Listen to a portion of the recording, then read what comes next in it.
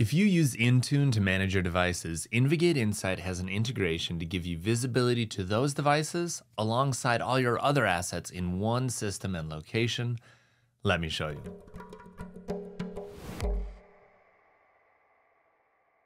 Hi, Matt Barron, product specialist at InvGate. With InvGate Insight, you can manage your assets and technology devices in one system. Before we get started, you can always grab a trial instance of our software at try.invgate.com and follow along, and you'll find a link in the description.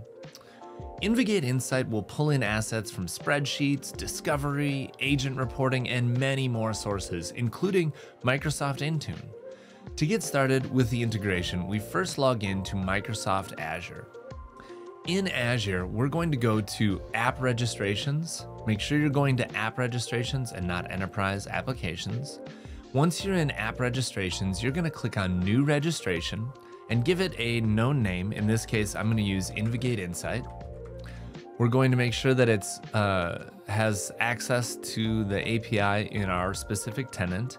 And if I need to, I can put in a, a redirect URL. For now though, I can just click on register and my application has been registered.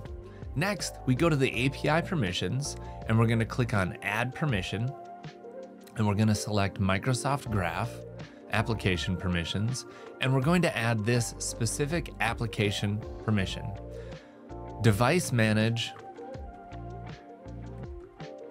device management, managed devices dot read all dot read dot all.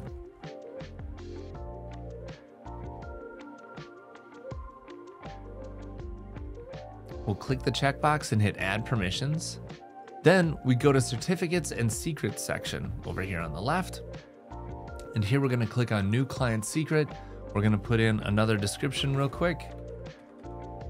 And we're gonna set a duration for how long we want this integration to be active. I'm just gonna do six months, but obviously I would recommend one year along with some reminders to make sure that I continue to keep this up. And that's perfect because this is exactly what we needed to get our secret ID and our values. And if I go to the overview, I can actually see all the codes that I need in one spot. The client ID, the tenant ID, and then that secret, which I've copied to my clipboard. Next, we're going to go over to InvGate Insight. And once we're logged in as an administrator, we'll go to Settings, Network, Discovery Sources, and then we'll click on Add. In here, we'll click on Microsoft Intune. And now we'll configure Intune. So I'm gonna put in a description here. You'll select Microsoft Intune for the type. And if you need our docs, you can click on view at any time. Now you can see I've pasted in the credentials here, along with choosing which operation operating systems I want to integrate with, and then what to do if, an in, if a device is removed from Intune. And in this case, we're gonna have it deleted permanently. Once I get through these options, I'm gonna be asked to test or validate and continue, and then I can also choose options for scheduling this connection, how often I want it to synchronize, and how often I want it to repeat. After that, I'll click Save, and the integration is complete.